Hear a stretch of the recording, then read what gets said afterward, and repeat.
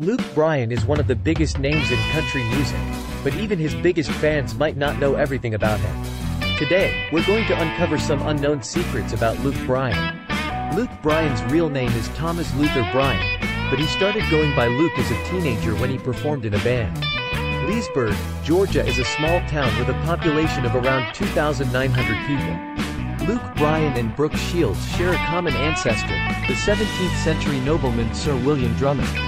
After graduating from college, Luke Bryan moved to Nashville to pursue a career in music. Luke Bryan enjoys hunting and fishing in his free time and often shares photos of his catches on social media. In addition to writing songs for other artists, Luke Bryan has co-written many of his own hits, including Rain is a Good Thing and I Don't Want This Night to End.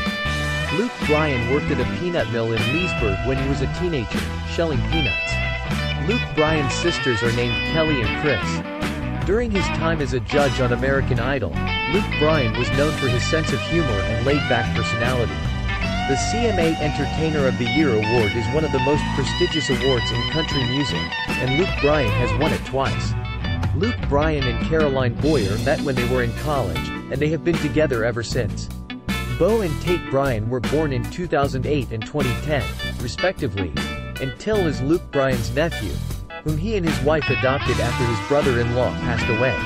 Despite being a successful country music artist, Luke Bryan still loves a classic peanut butter and jelly sandwich. Luke Bryan grew up on a farm in Georgia, and he still owns land in the area today.